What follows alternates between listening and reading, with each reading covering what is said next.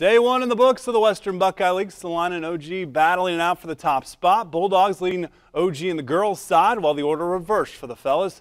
Finals tonight at Celina. You'll be able to see these finals in their entirety tomorrow night at 9 on WOSN. Day at the beach. My son always likes to ask about jumping in the sand. Did you go to that today? Yes, I did. Becca Carr jumping over the bar. Clears 10-2 to win the Western Buckeye League championship here. Will Heingardner over 6-1.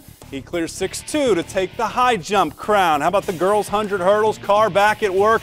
She wins in 15.77 seconds. She would win four events today. Jaden Marlowe of Shawnee second. Landy Landry Kuntz of Van Wert third. Boys 110 high hurdles. It's OG's Logan McDermott. Golden in 15.3. Luke Lemmerman of St. Marys the silver. OG's Austin McDermott the bronze. How about the boys two mile defiance as Garrett Wiles wins. OG's Matthias Trempekin finishes second after winning the mile in the 800. Celina's Roman Mitchell in third. Great event here. 4x4. Alyssa Ellebrock wins for OG 409. Van Wert second. Jocelyn Ayers and Bath third after Ayers won the 100 and 200. But watch this. Michaela Wenning on crutches, the anchor for Celina. She's missed her entire senior season because of that injury, but she was able to finish here today. Finally, the boys 4x4. Van Wert, they did great in the sprints today. Won the 100, won the 200. I think they won the 4x2. 330.44. OG finishes second in this race.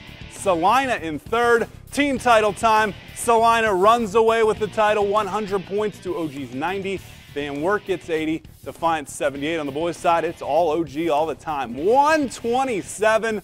Bulldogs edge the Cougars for second with Defiance.